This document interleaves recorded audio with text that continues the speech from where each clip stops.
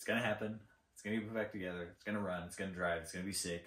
We're gonna do some drifts, do some maybe take off a sweet jump. The collectors probably won't like that, but I don't care. It's mine right now, and if somebody wants to drive the shit out of it when they become the next owner, then they'll know that it is fully capable of doing so. Hello again, everybody. Welcome back to the channel. Today, we are going to defeat this pulley and take the rest of the engine part. Last week, if you remember, giving me some problems. And uh, I think today, I've got the right tool for the job. Also had a, a nice margarita about 20 minutes ago, so I'm feeling pretty good and feeling pretty positive. So I think we're in a good place to make a successful disassembly video. So without further ado, let's get to it. So, if you'll remember from last time, it wasn't responding to prying, it wasn't responding to tappy taps, it wasn't responding to anything. So today, I borrowed a little something something from work. The Mini Ductor 2 flameless heat system. It's an inductive heater. It uses angry pixies to heat metal things up and make them come apart. So hopefully I don't end up frying my phone because one of my coworkers actually fried a pair of his headphones using this tool. It definitely tells you to not use it around a metallic object, rings, watches, body piercings, medical, surgical implants, etc. And definitely don't use it near a pacemaker. So luckily I don't have any of those things. Hopefully it doesn't fry my Apple Watch and hopefully it doesn't uh, fry my camera because that would really suck. But we're gonna try this, make some smoke happen, and I think that this is gonna be the ticket. Talking to a coworker, saying that this should just come right off. So I know because it's been sitting for about 20 years that our old friend Mr. Rust has formed a solid bond all the way around the perimeter of the inner race of that pulley. Let's uh, get this hooked up to some power and uh, start frying some stuff. Hopefully the right stuff though.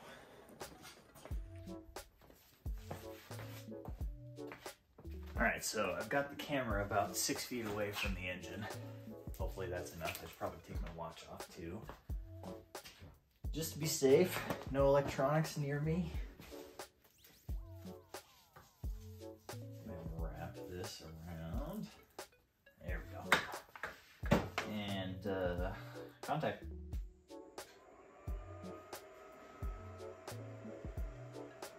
Now it's been a long time since I've uh, been in a physics class, so I can't really explain to you how exactly this worked. But uh, if you'll see, there's already a bunch of steam from the WD-40 burning off, emanating from this. So I think as soon as I let this cook for about, I don't know, 15, 20 more seconds, I really don't want to heat it up too much because I don't want to burn this plastic cover.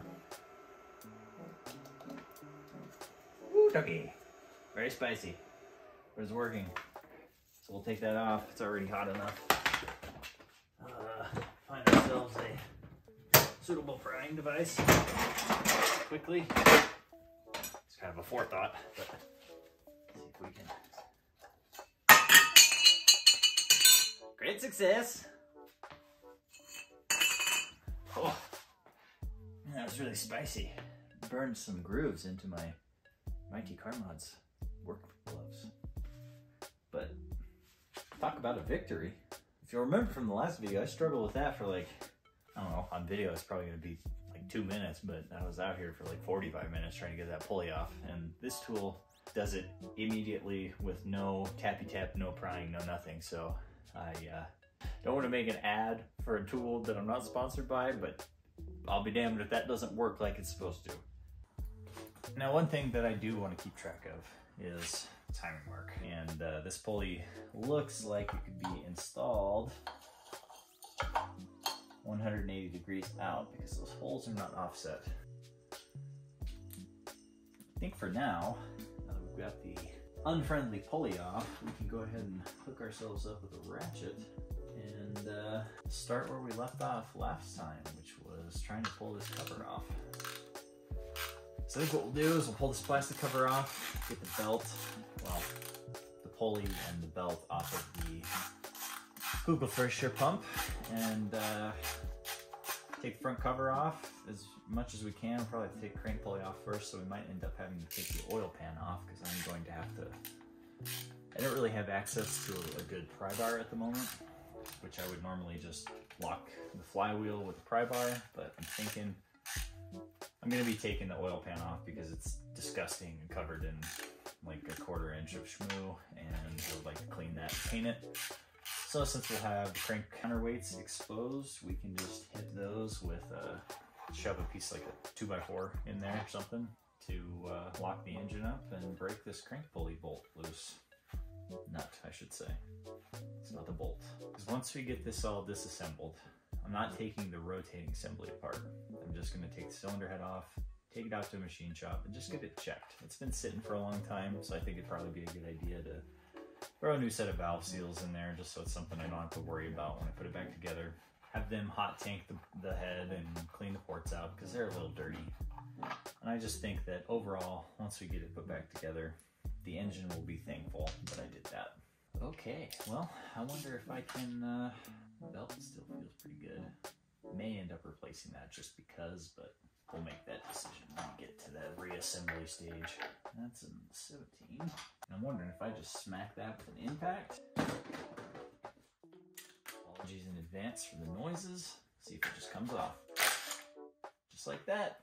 And luckily enough, there are timing marks associated with this. You've got a mark right here and a nubbin on top of this aluminum cover. So I think we're in good shape to just pull this off and uh, then we can take the oil pan off, put a piece of wood, block the crank and uh, break this crank nut loose because I I know on an M20 it's like 350 foot-pounds and I'm not sure if that's roughly the same on an M10 or not. I haven't done a lot of M10 disassembly in my past so we'll see what happens when we get there I guess. And I think I can take the front cover off with the Kugelfischer still attached. So not worried about even taking that pulley off right now. Can do that at work when I've got the guidance of qualified professionals. Even though I should be that, but I don't have a service manual in front of me, so I'm just going off precision guesswork. Let's get this front cover off. Because my real goal today is just to take the cylinder head off take the front cover off so I can fresh wash that or hot wash that and uh, take the cylinder head down to the machinist. I should probably drain the oil, so I'll go ahead and do that first because when I was tipping it over, studs not being in place, it leaked oil out. And I am I don't know if I've said this yet, but I am working in my mom's garage, so I would prefer not to ruin her garage floor any more than I've done in the past 15 years being a car enthusiast and building stuff in these stalls. Alrighty, grab bar 13 and then ratchet down. Break these bad boys loose. Probably should have left some hardware in there to break the timing chain tensioner loose, but uh,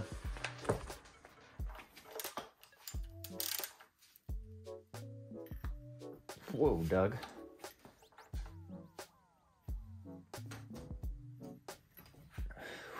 Three, two, one. Oh, we got it. That was really freaking tight. Holy crap.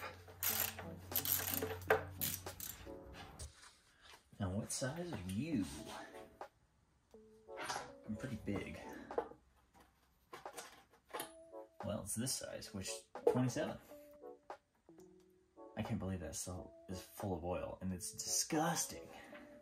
Oh, now we're dripping off the missing stud, too. Several years ago, I was driving through the Broadmoor and one of my exhaust studs fell out on the silver car. Still had the M10 in it at the time. And uh, I looked back behind me in my rearview mirror, and it was like a freaking James Bond movie. It's like I just enabled smokescreen for the past half mile that I had driven. And uh, as soon as I came to a stop, I got passed by a gigantic smoke cloud, and I thought my car was on fire. Popped the hood, saw oil everywhere, saw that a stud was missing, and ever since then, been very aware of the fact that M10 oil or exhaust studs go through into the oil gallery. Silly beamers. I also don't want to speak too soon, but uh, I'm wearing pretty decent clothes today. You know, they don't have a lot of dirty marks all over them. And considering the amount of dirty work I've done so far today, I don't have any marks on any of my clothes. Knock on wood. We'll keep it that way. Seems like we're fairly close to having all of our engine oil out, so I think I'm gonna go ahead and stick the temperature sender drain plug assembly back in.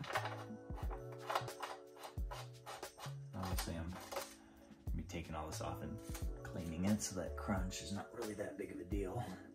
Okay, we'll pull the block drain out and uh, see what we get out of there. Hopefully not much. Oh, nice. Oh,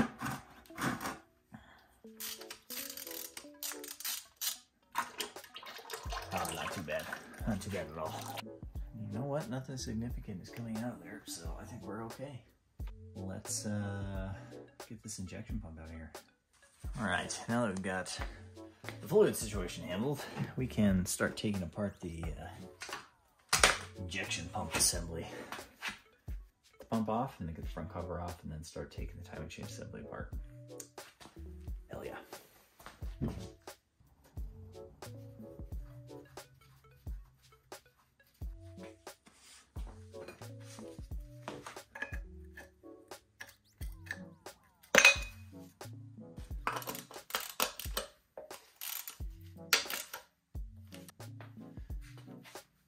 You, oh, there it is. The thing that makes a TII a TII. The Kugelfischer injection pump. Now we've got ourselves a naked timing cover. So I guess it's time to uh, flip this buttercup over and take the oil pan off. Now I'm well aware this is probably going to make a gigantic mess, so I think I'm probably going to try and put some cardboard down. This ancient toolbox topper from many years ago will work just fine. Wait for it. Wait for it.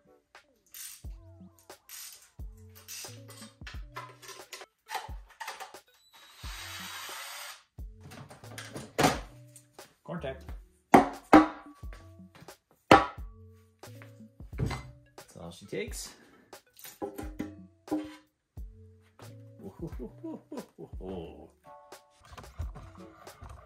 Break this bad boy loose. Get this out of the way. Get this cover off.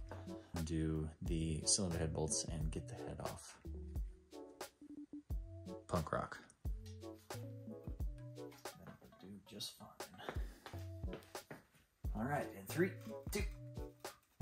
Oh yeah, that was definitely not 350 foot pounds. Tell you that much. One more little tappy tap. After first making sure that all of our hardware has been removed out of the front cover, which it looks like it has. And there we go. TI M10 timing cover. Very large piece of aluminum, I won't lie. Flip the engine back over, take the timing chain off. You know, I might even not take the timing chain off because I don't really see the point. Everything looks like it's in really good shape. Tension rail looks okay. Rail looks okay.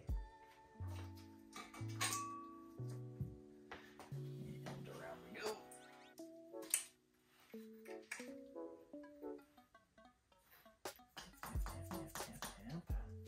And the first episode was man struggles with simple machinery, and now man struggles with freaking zip ties. Break those head bolts loose. Get this cylinder head off. And then we're done for today. I think for right now, I'm kind of stoked on getting the head off, so I think that's what we're gonna do next. 19 mil.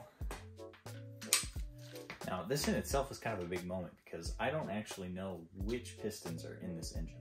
I know they're high compression Euro TII pistons, but there are two different variations. And I know only one set works with the TII or the E12 head, but I can't remember which one it is, so let's find out.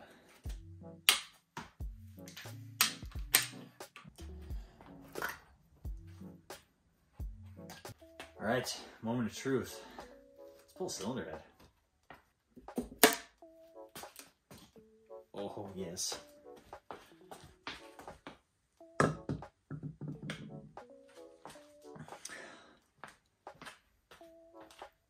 Oh, boy howdy, was it a good idea to pull this cylinder head off.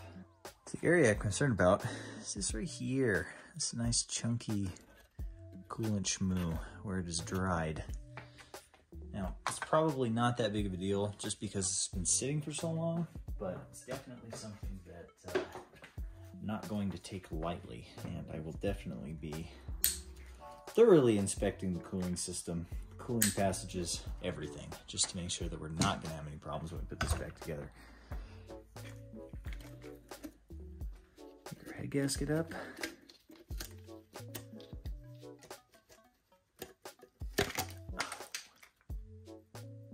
Go. Now before we end this video off, let's take a look at this cylinder. Everything really looks great. There's some coolant schmutz in here just from stuff drying out. But I'm hoping once I take this down to the machine shop, they'll be able to clean all this crap up and uh, make everything look pretty and new. Combustion chambers themselves look great. They're a little carbony, but that's to be expected on a 50 year old fuel injection system. Thank you very much for coming along on another episode of the John Modlin YouTube channel. I love you.